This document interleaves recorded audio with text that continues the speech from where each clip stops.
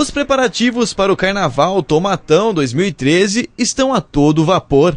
Quem passa pela Avenida Padre Nelson nota que a montagem das arquibancadas já começou. Segundo o diretor do Departamento de Turismo, a expectativa para a festa este ano é positiva e os trabalhos estão adiantados. Estamos aí é, chegando né, na, na, iminência é, do Carnaval e os preparativos já estão aí é, iniciados, né? já estamos montando, iniciando as estruturas, a montagem das estruturas todas necessárias, é, cuidando de toda a documentação necessária, que é um volume bastante grande para organizar um evento desse tamanho, é, é, entrando em contato com todos os envolvidos para que todo mundo termine aí, finalize as suas é, participações, né? Então, está é, bem, tá bem adiantado. Serão cinco dias de festa com shows na Praça Alfredo de Paiva Garcia, matinês e desfile das escolas de samba e blocos de matão. O evento pretende receber mais de 10 mil pessoas.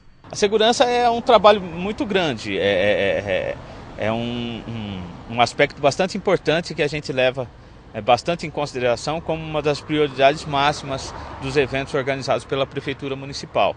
Né? É, nós temos um trabalho em conjunto com a Polícia Militar, é, com a Polícia Civil, com o Corpo de Bombeiros. A, a Prefeitura participa efetivamente com, com, o setor de segurança da Prefeitura, é, a Secretaria da Saúde, com ambulâncias, enfermeiros, primeiros socorros. É, também é, nós temos a, a, participação de empresas de segurança que auxiliam o trabalho da Polícia Militar as estruturas que a gente disponibiliza para a população. Né? Nós contamos aqui nesse espaço da praça e da Avenida Padre Nelson, da Praça Alfredo de Paiva, com ah, uma câmera de monitoramento que auxilia bastante em todo esse trabalho. São várias normas, por exemplo, para os comerciantes que atuam durante o evento, que eles têm que respeitar. Então, é uma série de, de elementos que compõem um, um complexo grande que faz parte do trabalho todo de segurança.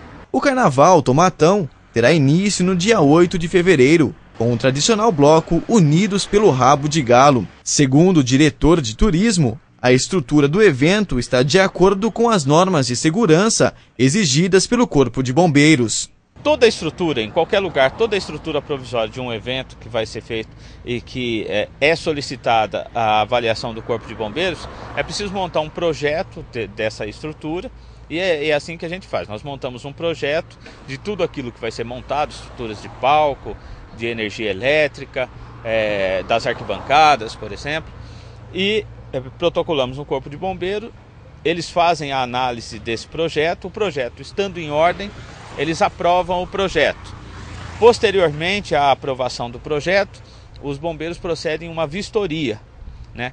E constatando que as instalações todas estão adequadas com o projeto que foi aprovado, eles emitem uh, o que a gente chama de AVCB, que é o auto de vistoria do Corpo de Bombeiros, comprovando que uh, as estruturas que foram montadas estão adequadas com os padrões técnicos de segurança contra incêndio, que é a parte que o Corpo de Bombeiros trabalha.